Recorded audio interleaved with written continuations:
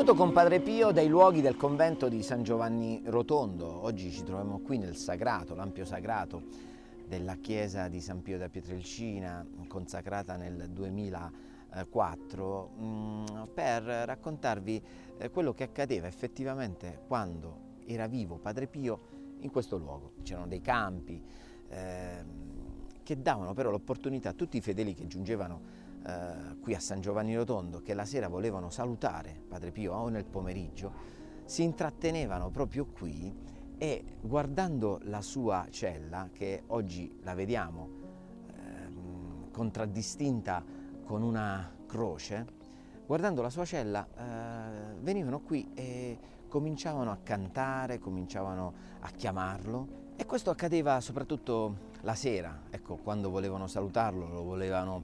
eh, conge- ecco, si volevano congedare da Padre Pio, ecco, venivano qui, Padre Pio, ti vogliamo bene, Padre Pio, buonanotte, eh, Padre Pio, ci vediamo domani, ecco, tante piccole espressioni. Padre Eusebio Notte, in questo suo libro, che è stato il dono che lui ha fatto eh, a coloro che hanno partecipato ai, alla celebrazione dei suoi 50 anni di messa, l'anniversario del, della sua ordinazione sacerdotale, racconta che qui ogni sera era una serenata. Infatti eh, i, i figli spirituali si trattenevano qui e recitavano il Santo Rosario. Chiamavano con insistenza Padre Pio, si affacciava alla finestra e salutava tutti con il suo fazzoletto bianco. Ehm, beh, eh, lui racconta a Padre Eusebio che eh, al tempo eh, di Padre Pio non c'era ancora la messa vespertina, ma al suo posto c'era la funzione serotina con eh, Gesù sacramentato. Eh, questa, scrive Padre Eusebio, era sempre riservata a Padre Pio. Una sera eh, venne qui eh, l'attore Carlo Campanini, ecco ricordiamo che l'attore Carlo Campanini eh, è stato un grande figlio spirituale di Padre Pio, 1906 ehm, nato, 1984 morto, lui racconta sempre che deve tutto a Padre Pio, tutta la sua vita, dall'inizio, da, dal primo incontro, dalla sua conversione, quindi parliamo del primo incontro 1939 eh, difatti Carlo, eh, secondo le sue intenzioni, è stato seppellito proprio qui a San Giovanni Rotondo, nel cimitero di San Giovanni Rotondo, nella tomba di famiglia di Fra Daniele eh, Natale. Ehm, ecco, proprio una sera Carlo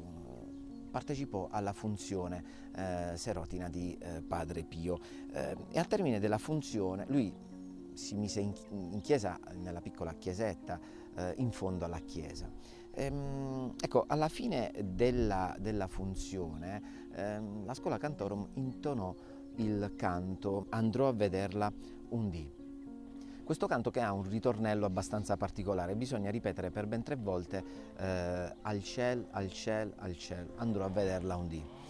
Allora, mh, mm, Carlo si accorse che questa tonalità, la scuola Cantorum la faceva di un tono, ogni volta al ciel si alzava di tonalità, era un canto abbastanza mm, particolare ehm, e nel momento in cui si alzava di tonalità, l'ultimo al ciel, Carlo, che era anche un cantante, lui faceva operette a teatro, eh, è stato uno dei maggiori cantanti e attori tra gli anni 30 e 50 qui in Italia, ehm, cantando al cielo, al cielo, al cielo, l'ultimo al cielo, lui stonò, come si suol dire, prese una bella stecca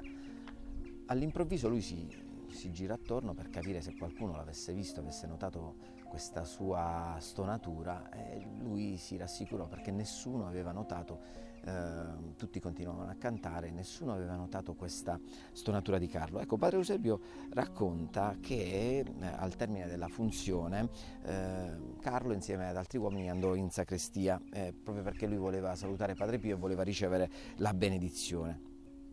e dopo l'immancabile ringraziamento mm, benedisse tutti i presenti, poi accompagnato, dice padre Eusebio, accompagnato a braccetto da me, eh, passava in mezzo a tutta la fila di uomini che era in sacrestia per andare verso la clausura. Quando fu davanti eh, a Campanini si fermò e disse, ehi Carle, sei arrivato anche tu qui? chiaramente in dialetto beneventano. Campanini rispose sì padre, volevo essere qui presente. A questo punto poi padre Pio gli mise una mano eh, sulla testa, strapazzandola scherzosamente. Dice, eh Carlè, quando si tratta di andare al cielo, sempre in dialetto beneventano, quando si tratta di andare al cielo tu fai un po' di fatica, eh? E subito Campanini sorrise perché Padre Pio aveva capito. Qualche minuto dopo però l'ignaro eh, padre Eusebio che non aveva, cioè, li vedeva sorridere entrambi però non aveva capito nulla, allora si avvicinò direttamente a Campanini e chiese come mai padre Pio ehm, ecco, avesse utilizzato quella frase che comunque è una frase adatta a tutti, no?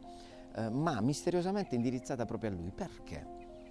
e subito Campanini spiegò l'accaduto. Ecco, nei suoi racconti padre Eusebio termina eh, questo, sua, questi, questi, suoi appunti eh, scrivendo ma come aveva fatto padre Pio a notare la stonatura di Campanini e poi da questa prendere lo spunto per lo sforzo quando si va al cielo?